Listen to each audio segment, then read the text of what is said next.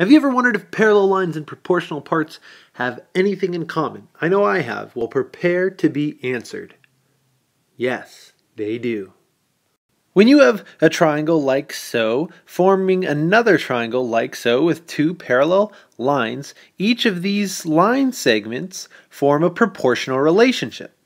And that relationship is going to be AB over BC is equal to ED over DC. Now these can be switched around in any which way order, but there it is. But that's not all. Love is a two-way street. If you have two triangles and you're not sure if the lines are parallel, you can check. If AB over BC is equal to ED over DC, then you can conclude that these lines are parallel. Let's do some examples. Here we've got a couple triangles right here and right here. Notice the parallel lines. Ooh, ah. We're given that EH equals 9, HG equals 21, FL equals 6. We want to find GL. First, let's label what we know.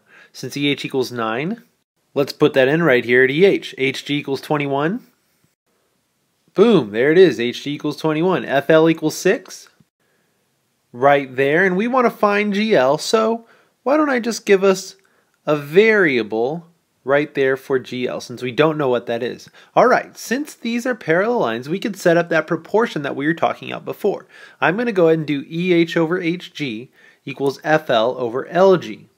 That's going to give us 9 over 21 equals 6 over x. Cross multiplying, we can get 9x equals 126, or a final value of x equals 14. And since we let GL equal X, we know that GL is going to equal 14 as well. And there we've got our answer. All right, this time we're given EH equals 6, FL equals 4, FG equals 22, and we want to find HG. Let's label all our sides first. All right, notice this time they gave us an entire side, FG equal to 22. So I just made sure and labeled this entire side 22.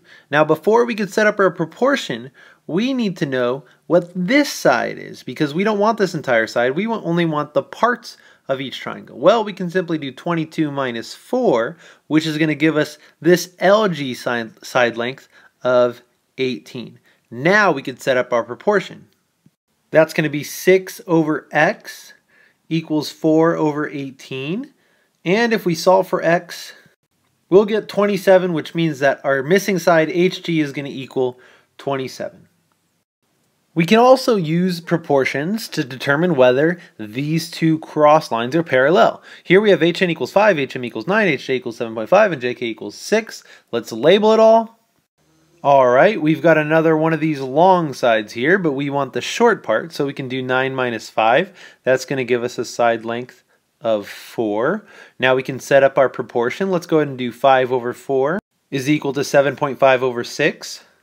Now our main goal is to determine if NJ and MK are parallel. We've set up a proportion here based on the triangle, so if this statement is true, that means we can determine that they are parallel. If it's false, then that means they are not parallel. So let's go ahead and do 5 divided by 4. That's going to be 1.25.